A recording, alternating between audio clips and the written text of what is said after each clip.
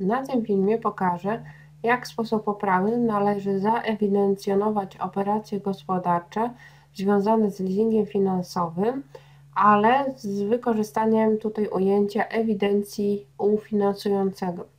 Czym jest leasing? Jak najbardziej możecie sobie poczytać tutaj po prawej stronie ekranu. To są elementy teoretyczne, można więcej zdobyć tutaj e, sensownej informacji. Ostatni punkt jest ewentualnie tutaj i to, co ja chciałam dzisiaj Wam pokazać, to jest faktycznie tylko sposób tego księgowania. Najważniejsze oczywiście jest ten podział, czy mamy do czynienia z leasingiem finansowym, czy z leasingiem operacyjnym. Na tym filmie omawiam leasing finansowy, w którym najważniejszą zasadą jest to, że dodatkowy środek trwały, który pojawia się w ewidencji środków trwałych z tytułu umowy leasingu, odnotowywany jest po stronie leasingobiorcy, czyli tej strony korzystającej z danego środka trwałego, z maszyny czy też na przykład samochodu. A u nas ewidencja, e, jakakolwiek operacja gospodarcza związana z leasingiem ma miejsce zarówno u strony finansującej, czyli na przykład w banku lub firmie leasingowej oraz u korzystającego. Na pozostałych moich filmach oczywiście można zobaczyć zarówno operacje e, w ramach leasingu operacyjnego, czy to u korzystającego, czy finansującego. Ten temat jest konkretnie dotyczy przypadku leasingu finansowego, ufinansującego, jak te operacje gospodarcze, które tutaj zostały wymienione, powinny być księgowane. Tutaj mam pięć e, klasycznych operacji związanych z, z, powiedzmy z operacjami dotyczącymi środka trwałego.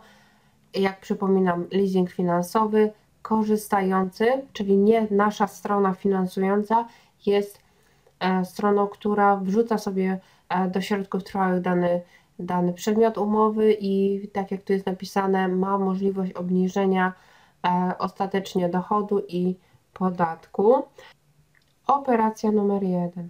Przekazano korzystającemu środek trwały urządzenie będące przedmiotem umowy leasingu finansowego wartość początkowa urządzenia odpowiadająca jego wartości godziwej 140 tysięcy złotych. Jeżeli mamy do czynienia z leasingiem finansowym, to leasingobiorca może dokonywać odpisów amortyzacyjnych i tak.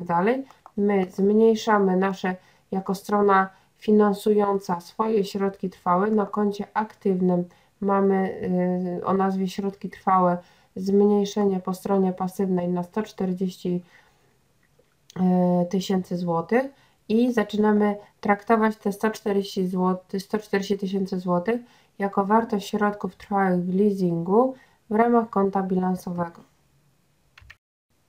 Operacja numer 2 Wystawiano fakturę VAT za oddane w leasing urządzenie. Kwota faktury obejmuje wartość przedmiotu leasingu 140 tysięcy i podatek VAT 23% od tej kwoty, czyli łącznie 172 200.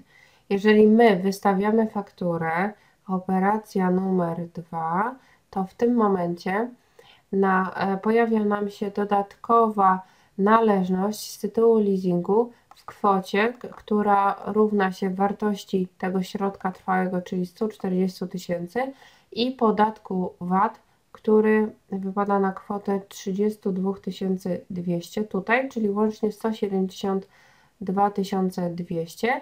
Oczywiście, jeżeli rosną nam należności, to jednocześnie e, mamy e, na drugim koncie korespondującym, czyli rozrachunki z tytułu VAT, odnotowany VAT, i jednocześnie kwota 140 tysięcy pojawia nam się na koncie rozliczenia operacji leasingowych, gdzie mamy właśnie odnotowane 140 tysięcy dotyczące operacji pierwszej, bo ona dodatkowo tutaj była e, odnotowana na koncie środki trwałe w leasingu.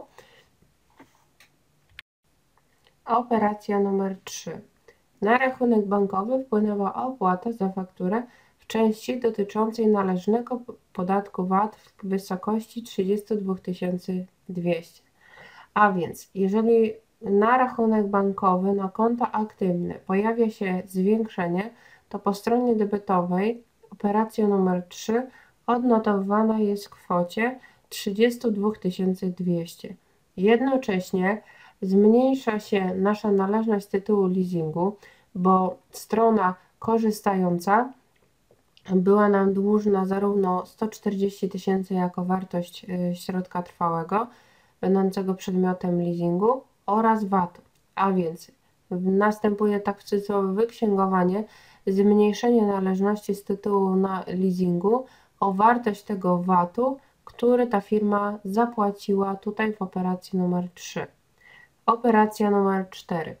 Otrzymano na rachunek bankowy należną z tytułu raty kapitałowej przypadającej za dany okres kwotę 2300 e, wraz z opłatą dodatkową dotyczącą tego okresu 900 zł. W sumie zapłacono 3200 zł.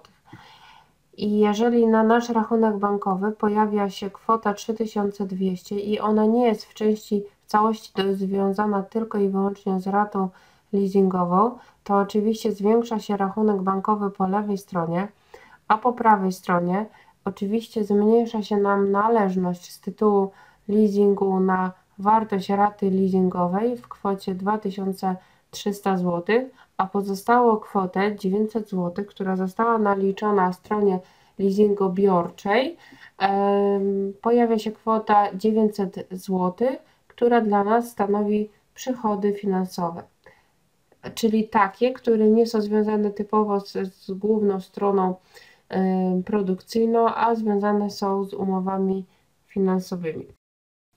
Operacja numer 5 związana jest ze zwrotem środka trwałego do nas, do strony finansującej, do strony leasingodawczej po zakończeniu umowy.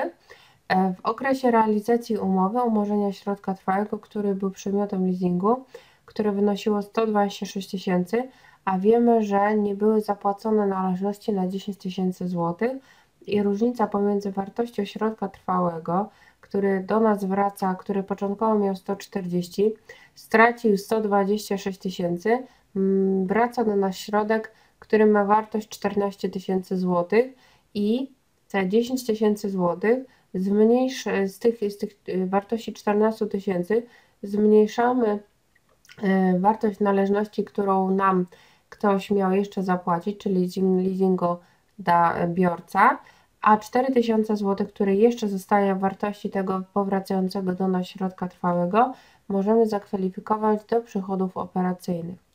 A więc operacja numer 5 będzie polegała na tym, że e, w środkach trwałych to tutaj e, następuje zmniejszenie wyksięgowania środka trwałego, ten środek trwały z powrotem do nas wraca. Jednocześnie wiemy, że jego umorzenie, czyli zmniejszenie jego wartości jest na 126 tysięcy. E, przeznaczamy w tym momencie 10 tysięcy uznajemy jako zmniejszenie e, tej należności, którą ktoś nam był dłużny na 10 e, tysięcy złotych, a pozostałą kwotę 4 tysięcy złotych z tego wyrównania 126, 10 wyrównuje się ze 140 y, tysiącami. Traktujemy jako pozostałe przychody operacyjne, bo to wynika po prostu z posiadania środka trwałego o dodatkowej wyższej wartości. Zapraszam do udostępniania moich wszystkich filmów. Oglądajcie pozostałe filmy związane nie tylko z leasingiem tutaj na kanale na YouTubie. Wszystkie filmy są oczywiście naturalnie za darmo. Korzystajcie, bo dzięki temu może łatwiej zrozumiecie całe zagadnienia z rachunkowości finansowej.